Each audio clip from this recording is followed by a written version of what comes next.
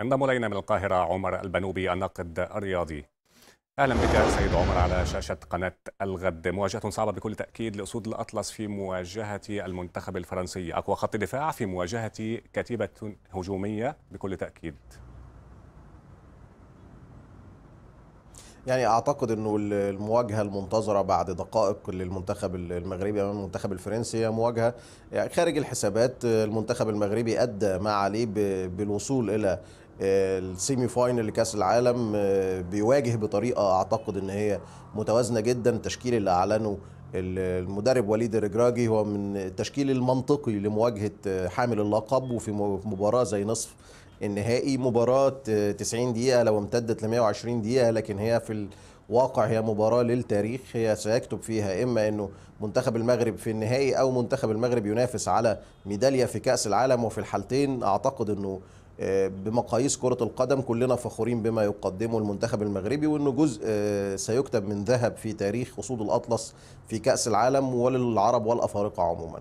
في مواجهة ربع نهائي بين فرنسا وإنجلترا شهدنا أخطاء دفاعية للخط الخلفي للمنتخب الفرنسي ان صح التعبير بركلة جزاء تسبب فيها تشاوميني الأولى والثانية من ثيو هرنانديز، كيف يمكن للرجراجي استغلال هذه الأخطاء لمصلحته؟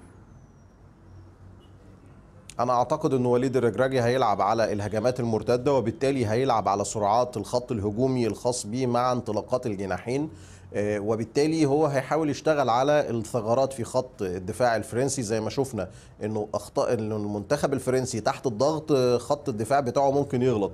ممكن يغلط ممكن يتسبب في ركلات ترجيح أو أخطاء أو ضربات ثابتة.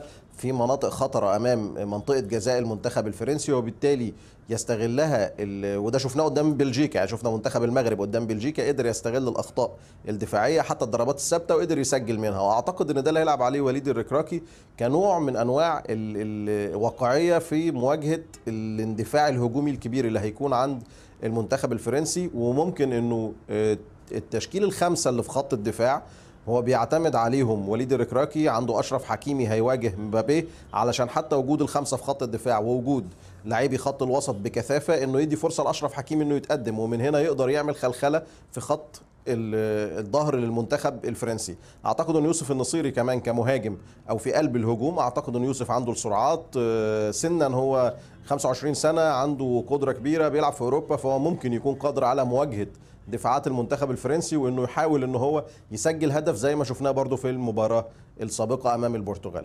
المنظومة الدفاعية بكل تأكيد للمنتخب المغربي ناجحة ومميزة إلى الآن باستقبال هدف وحيد وحارس عملاق كياسين بونو، كيف يمكن لها أن تتجنب خطورة الكتيبة الهجومية الفرنسية التي تتمثل في عناصر هجومية مثل اوليفيه جيرو وعثمان ديمبلي إلى جانب إمبابي كما ذكرت ومن خلفهم جريزمان الذي ينطلق بكل أريحية في منتصف الميدان وتشواميني الذي يقوم بالزيادة العددية والتصويب كما شاهدنا في مباراة إنجلترا.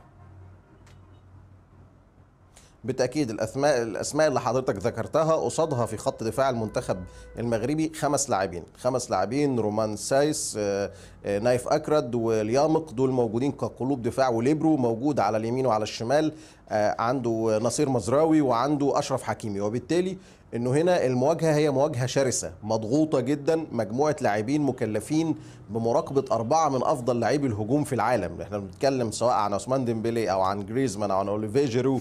الهداف دلوقتي هداف تاريخي للمنتخب الفرنسي مبابي باندفاعاته وسرعاته الكبيرة.